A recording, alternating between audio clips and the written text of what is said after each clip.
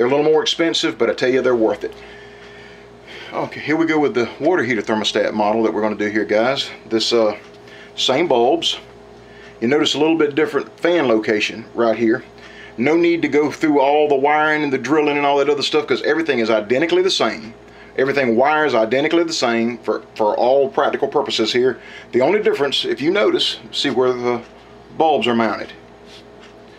I mount these bulbs here because this has got to have the metal face facing this bulb right here to pick up the radiant heat off of this bulb. And this one and this little small box right here in order for me to be able to get this work I knew I was gonna have to get within an inch or inch and a half of this bulb.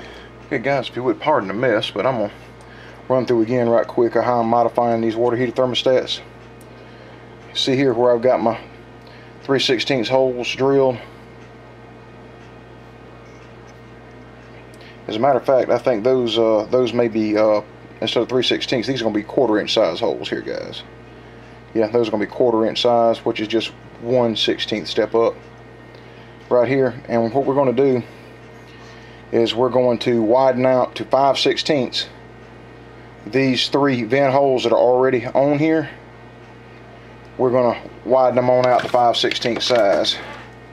It moves along pretty quick.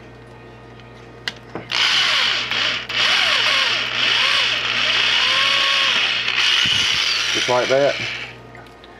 I'm gonna try to make sure you get as much of your metal flake coming out of there off as you can, guys.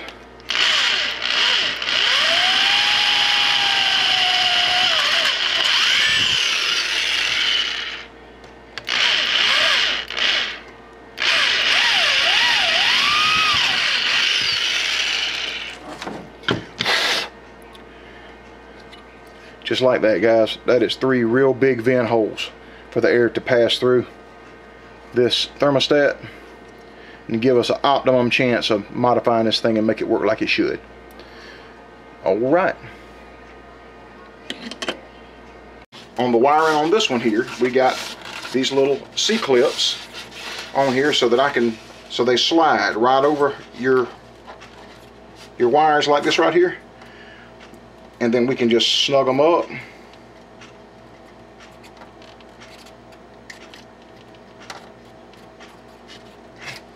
get them nice and snug and then we're going to pop it. We're going to line up.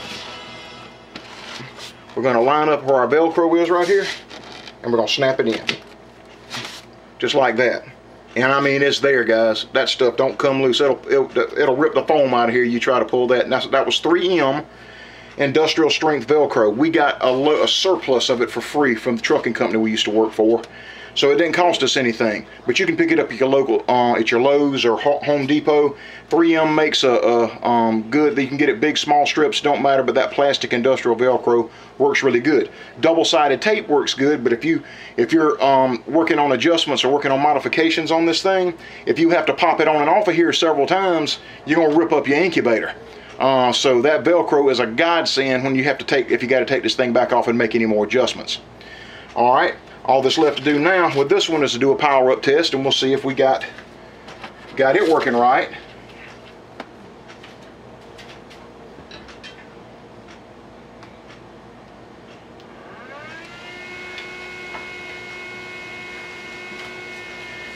and there we have it only difference only thing I did different on this one guys. See the top with this one? We got a 5 by 7 glass right here for a good viewing glass and I got a little 3 by 5 right here small viewing glass because it sits it will sit right over the top. So you can see to adjust your thermostat if you have to make any adjustments on it. And you see how close that thing is to the uh, to the bulb you want to make sure that it is within, within an inch or an inch and a half if we're going to fool that uh, thermostat into cycling like it should. Alright guys, well I was talking about using the, the zip ties or wire ties is a nylon nut. You got just a standard bolt mounting your fan or mounting anything. See this hardware cloth, I made a bracket out of it 90 degree to hold this fan in the middle of the box Works really good. Hardware cloth is a good multi-purpose. It's got all these little small holes for, that you can use for bolt holes all through it. But you zip your uh, wire tie down on the end of your bolt right here and just screw it on here like you normally would with a regular nut and when it snugs up you got it you got a nice uh let me get my snippers here then you just snip off your tag and it's fastened this is our modified water heater incubator as it runs guys flashes on and off pretty quick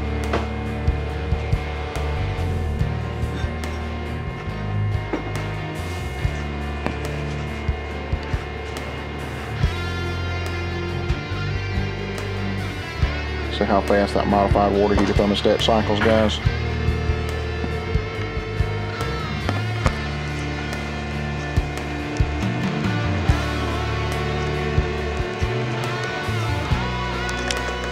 Ninety-nine point seven, sixty-six percent.